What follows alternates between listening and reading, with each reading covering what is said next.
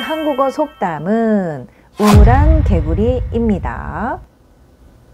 우물. 이게 우물이죠. 옛날에는 지금처럼 수도시설이 갖추어 있지 않았기 때문에 이렇게 마을마다 우물이 있었어요. 지금 우리는 참 편한 세상에서 살고 있어요. 그렇죠? 개구리. 우물 안에 개구리가 살아요. 우물 안에서 너무 행복해요. 이 우물이 개구리의 세상이에요.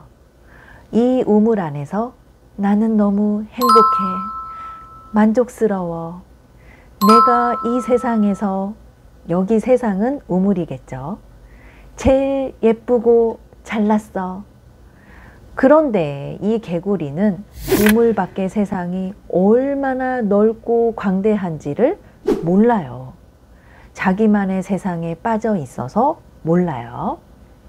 우물한 개구리 무슨 뜻인지 정리해 볼까요? 자신의 세계가 좁다는 것을 모르고 그것이 전부인 것처럼 알고 있는 사람. 그러니까 넓은 세상을 알지 못하는 사람, 세상을 넓게 보지 못하는 사람. 그래서 우물한 개구리를 한마디로 정리를 하면 생각이나 식견이 좁은 사람을 말해요.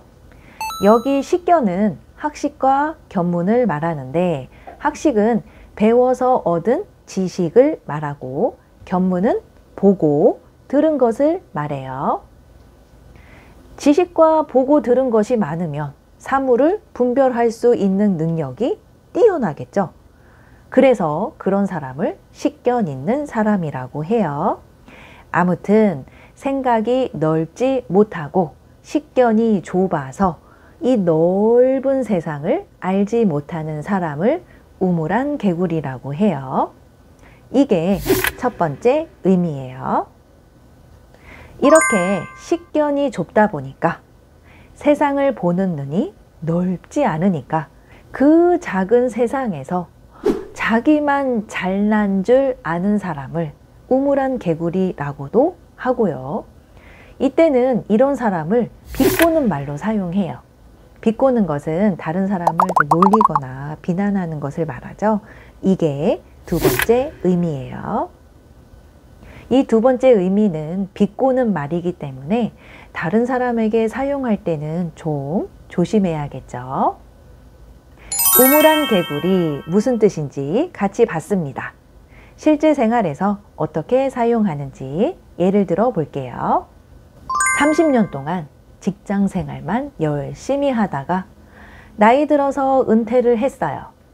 보통 한국은 55세에서 65세 사이에 은퇴를 하게 되는데 사실 요즘은 65세도 정말 건강하고 활력이 넘치거든요. 아무튼 은퇴 후에 해외 자원봉사단에 들어갔어요. 해외 봉사를 하면서 각양각색의 다양한 인종과 국적을 가진 사람들을 만나게 돼요.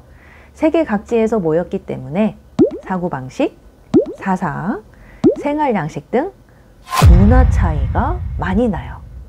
하지만 그들과 함께 생활하면서 예전에는 이해할 수 없었던 그래서 이상하다고 생각했던 그 문화 차이를 이해하고 인정하게 돼요.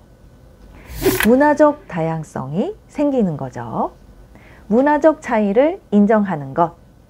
나와 다르다고 해서 틀렸다, 옳지 않다가 아니라 그럴 수 있구나, 그렇구나, 이 사람들의 세상은 또 그렇구나.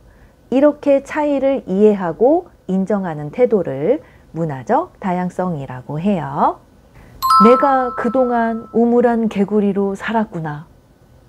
내가 살던 세상과는 또 다른 세상, 더 넓은 세상을 보고 깨닫는 순간이네요.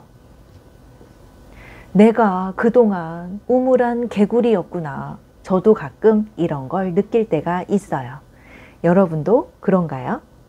우물한 개구리 한 가지 더 예를 들어 볼게요. 과학기술의 발전으로 인류의 텔레비전과 라디오가 보급되면서 사람들은 보다 넓고 다양한 세상을 볼 수 있게 되었어요. 더 나아가서 컴퓨터와 인터넷이 급속도로 발전하고 전 세계로 퍼지면서 어느 순간 우리 생활 속에 스마트폰이 자리 잡게 되었어요. 이제는 스마트폰이 없는 세상은 상상할 수가 없어요. 스마트폰을 통해서 정말 다양하고 무궁무진한 세상을 보고 있잖아요. 이제는 이러한 온라인을 활용하지 못하면 뒤처지는 세상, 우물한 개구리가 되는 세상이 되어 버렸어요.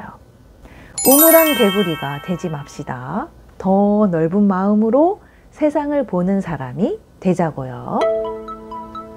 그럼 우리는 다음에 또 만나요.